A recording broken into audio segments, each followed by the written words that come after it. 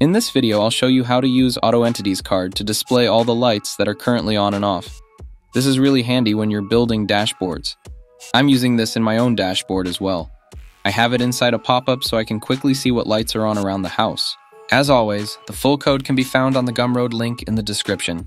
I will use some light sliders that I've showed how to make in a previous video, so if you want to use the same light sliders, I suggest you watch that video first. But this will work for other light cards as well. I'm going to start by adding an Auto Entities card. Here I will click the Add Filter Group button. The card should now display all your entities in a long list, but we can start filtering this down. In the Select Property dropdown, I will select Entity Domain, and I'll write Light in the text box next to it. The card should now display all your lights. I just want to see the lights that are currently on. So in the Property drop box, I select Entity State and write On in the text box. Now I want to use my light slider template instead of just the toggle buttons. So I'll go into the code editor and change the card type from entities to grid. I'll select one column and set render as square to false. It's easier to do the rest of the setup in the code editor, but if we quickly go into the visual editor and type anything into the options field, it will generate the starting code for the rest of the code we need. This is where we need to add the decluttering template card.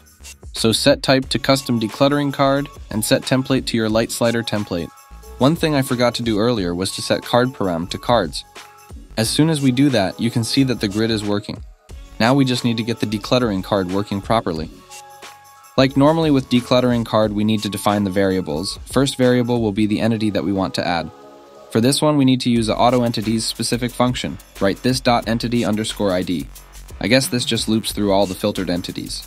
Now the sliders work, but we can also add the name and icon if we just define them as empty variables. It will then grab the icon and friendly name of those entities. If you wonder how you edit the name and icon, you can just find the light from, for example, the DevTools. Go into Settings and set a new friendly name and icon. As soon as you click Update, it will change in the card editor as well.